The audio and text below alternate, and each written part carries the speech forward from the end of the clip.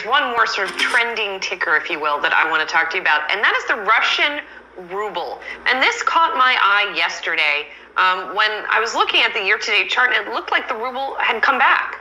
And my eyes were not deceiving me. Uh, the ruble fell to a low of 121 and a half rubles per dollar. That was on March 7th.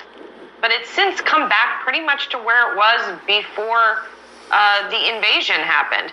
Uh, part of this is because Russia is still selling oil and gas. That is bringing rubles back into the nation. Some of it, of course, it is selling to places like China and India, but some of it it's still selling to Europe because they have not banned those uh, imports into Europe of Russian oil and gas. So that again, bringing more rubles into the country. And you can see there this morning, um, we have, I believe that is the ruble versus the dollar here falling, but we have seen a recovery.